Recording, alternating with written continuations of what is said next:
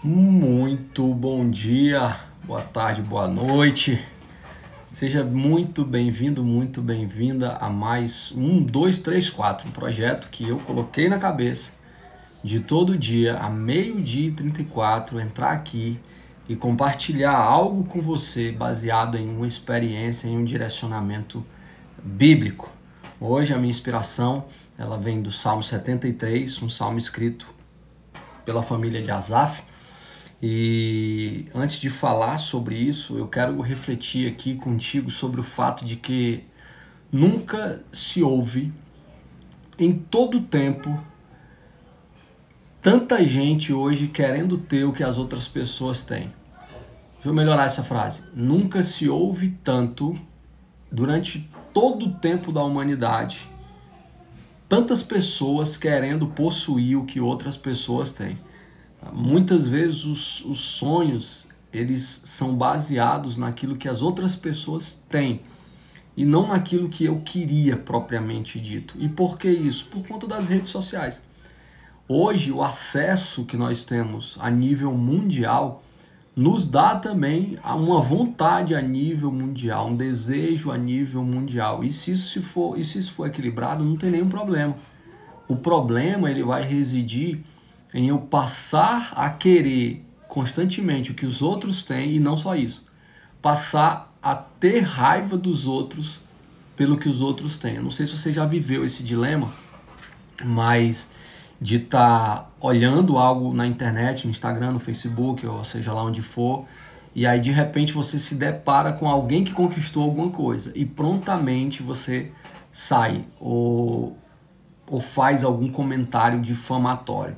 Precisa ser muito intencional, muito inteligente e muito honesto para chegar a essa conclusão.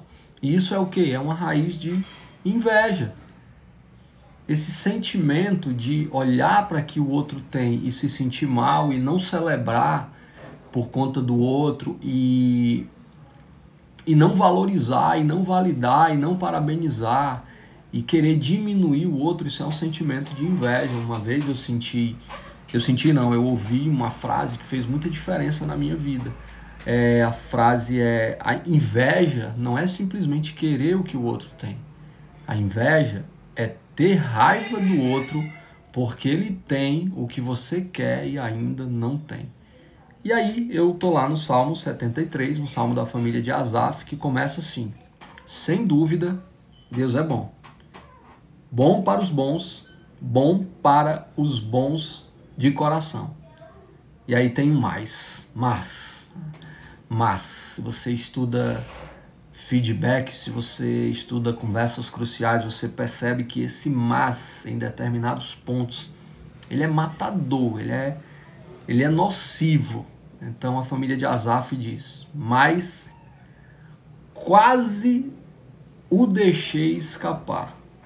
Sem dúvida, Deus é bom, mas quase o deixei escapar, quase deixei de ver sua bondade, porque eu estava olhando para o outro lado, observando as pessoas que alcançaram o topo, invejando, eu amo a tradução do Eugene Peterson, invejando os ímpios que tinham sucesso, que não têm com que se preocupar e nenhum problema para resolver. O que a família está dizendo? Caramba, eu, eu faço tudo certo, eu sirvo a Deus, eu estou honrando a Deus, mas as coisas não estão dando certo para minha vida. E eu olho para aquelas pessoas que estão fazendo tudo de errado e as coisas estão dando certo na vida delas.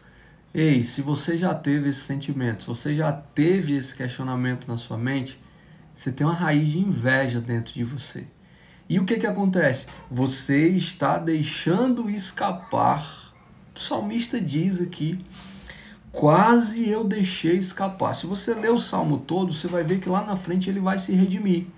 Ele vai entender, enfim, que o que vale mesmo é esperar em Deus, que o que vale é obedecer a Deus, mas ele quase deixou escapar. E olha que legal.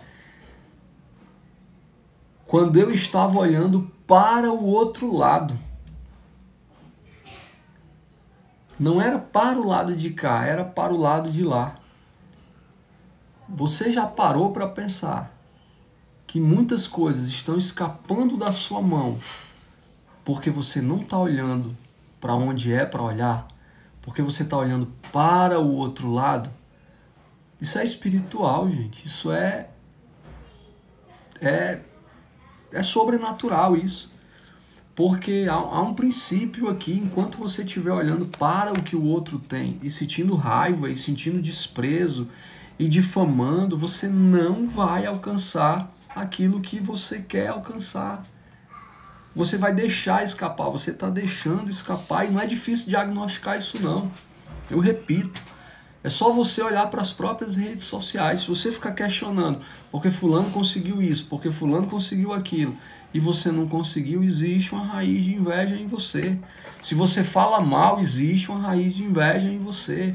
Se você deixa de seguir ou ou passa de uma vez ou sai do Instagram, isso é uma raiz de inveja em você. E você está deixando escapar aquilo que Deus tem para você. E às vezes você quer aquilo que a pessoa tem, mas em vez de celebrar o fato, você critica, você já disse difama e aí você acaba perdendo o que Deus tem para você. Eu tenho certeza que você está vendo esse vídeo por algum motivo.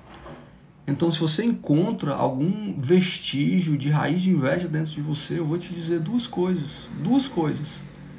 A primeira, começa a celebrar com essa pessoa. Normalmente, a inveja é dos conhecidos. A inveja dificilmente atinge os desconhecidos. Os desconhecidos pode, pode rolar uma comparação, mas normalmente a inveja é dos conhecidos. Caramba, fulano foi promovido e eu não fui celebra com essa pessoa. Mesmo que você não queira, e digo mais, mesmo que você não sinta, liga para essa pessoa, valida, parabeniza. Só o fato de você não falar mal para outras pessoas já é um grande indício de que você vai mudar, de que isso vai mudar na tua vida. O que foi que houve, Gigi? Fala aí para mim, para ver se eu consigo te ajudar. Deixa eu terminar esse raciocínio aqui. É... Celebra comemora. Se for para falar, fala para essa pessoa: olha, eu estou muito feliz, parabéns.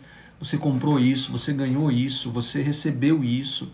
Essa oportunidade apareceu para você. Você está chegando a uma nova fase da sua vida.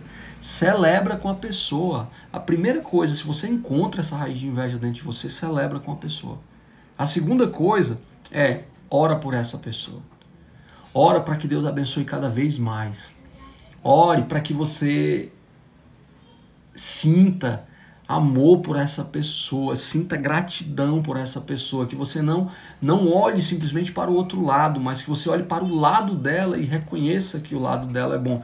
Eu vou dizer até um terceiro ponto, tá? Se você encontra essa raiz de inveja dentro de você, o primeiro ponto, celebre com essa pessoa. O segundo ponto, ore por essa pessoa veementemente. O orar é o principal, certo? Devia vir primeiro.